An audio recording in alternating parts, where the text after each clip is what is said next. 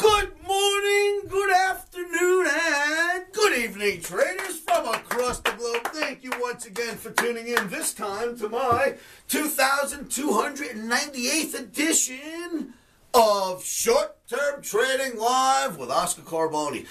Ah, traders, I'm excited because of the topics on the board. I think you're going to love them. I want to get right into it. Remember, there's risk involved. Put your stops in first. Never trade without them. You can lose more money than you expect if you're in futures or options and you're short, even long in futures. So please be careful out there. Know the risks. Let's get moving. So, you know, I'm not quite sure when to take the bow in this video. but uh, the performance Omni has given, and I've been a good messenger boy and delivered that performance to my Omniacs this week so far, has just rocked it. That chart masterpiece, how about that? I'll take a bow for that one. Woo! That was an insane call, right? Well, watch what's on the board now. During this week, I put up a crude oil chart at the beginning of the week, and I said, crude, it's about to break pattern and head lower. Well, crude oil does break pattern this week and heads lower, and us scored. Thank you, thank you, thank you, Mister up there. So this guy upstairs helps us all the time, I think. Bitcoin. Let's go there next. Number two. I'm going to show you the chart, of course, of crude oil and how it headed lower as we projected it would. Bitcoin, Bitcoin, Bitcoin, baby. Flags, they are a flying and they're flying high in Bitcoin buy big dips in Bitcoin. That's what we're looking for on Friday. And then we've got chart masterpiece number two. A new chart masterpiece, a second one in the same week. That's rare, but we've got it. I think you're going to love this. Now, kids, cover your ears because I'm going to tell you right now on chart masterpiece number two, I call, oh, it erased.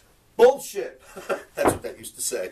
I call bullshit. You know the game Bullshit with cards? That's why I'm allowed to say it. It's a card game. You know that game with cards called Bullshit? When you think someone's lying, you call bullshit? Well, this dip that we just had in the indices, I call bullshit. That's it. I'm putting my neck out on the chopping block. The orders are in, and us Omnis are going to use Chart Masterpiece to decide what to do on Friday.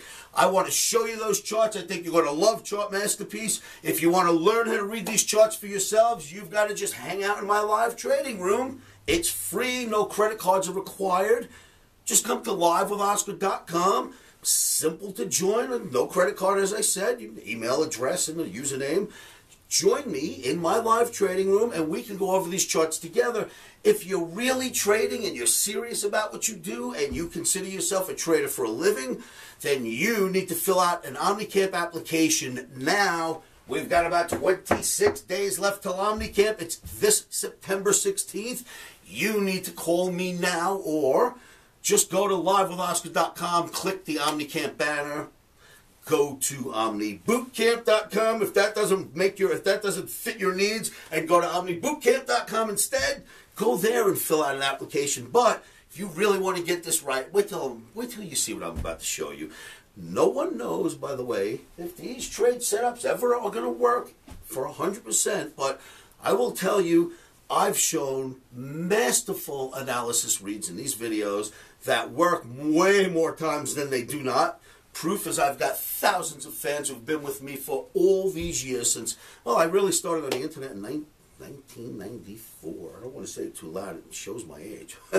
my first websites on the internet were 1994, and I kid you not, I still have people today that have taken this entire ride with me.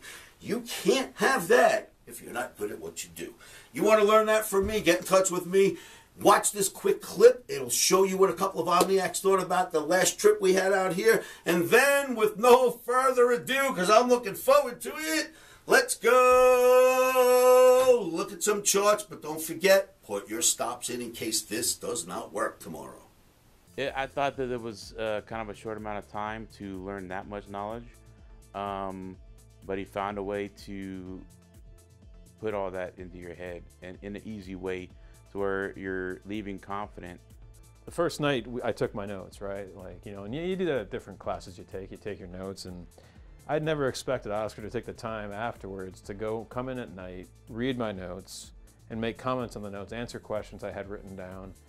make comments on my, you know, you misunderstand this. This is how it should be. That's just phenomenal. For guy to take that extra mile, I mean, he's already taught it to you that day. And to come in and say, let me see what you wrote down, do you really understand it? When you don't have any idea he's going to do that? Absolutely. That this just blew my mind when I saw that. Okay, traders, crude oil.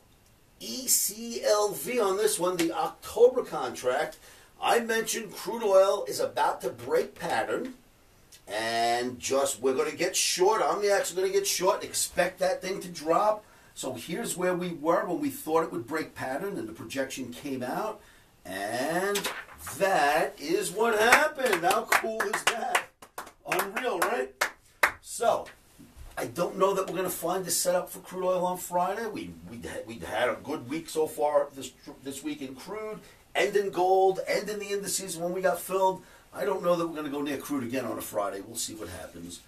Then there's Bitcoin, Bitcoin, Bitcoin. Look at this one, kids. If you remember this chart, I showed this F flag to you. It's an Oscarism known as an F flag when it was just a baby. And I said, I think we're building a bullish F flag. And Bitcoin's been going up since. Well, it morphed into another bullish F flag. And I say buy the dips because it worked well here. And in fact, Bitcoin's been getting purchased, I'm assuming by the street, meaning Wall Street, the ones who can trade it, because ever since it got above the 200 bar moving average, it's been running and building bullish formations. When it got under the 200 bar moving average, it was building bearish looking formations, right? Now we're getting bullish looking formations after that big triple bottom was held a few weeks back, maybe a month or so ago. Bull flag worked. We're in a bull flag now buy the dips. I don't think it's just Bitcoin because Ethereum very much looks the same. The flag's a little bigger, it's got a little more room as Ethereum flips around more, less participants, more more volatility, but still the same look.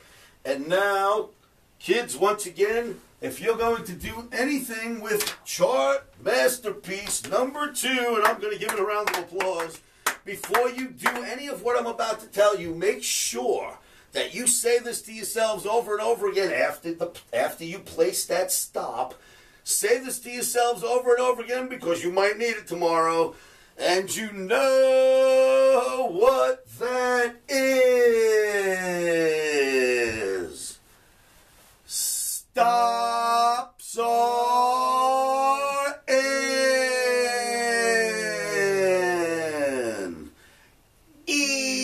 Emotions are out. Now look, you're going to need a big stop and you're going to have to keep your emotions out of this, but here's what I'm going to show you. This line, this green line goes all the way back to here and just never gets broken. Then you take the 50 bar, Wall Street loves it, moving average, and that does not get broken, right? It just holds. Well, guess what we just ran into? The 50 bar moving average and that trend line on the same day that we put in what's known as a swing day when the market goes all the way down, puts in a low, turns around, comes all the way back up and settles on its highs. That was Thursday. That's considered a swing day, which changes direction for many trading systems. I'm not saying it would do that for yours, but that's how you look at that. So, you've got a swing day, you bounced right off of this major trend line, and you held that 200 bar, excuse me, the 50 bar moving average.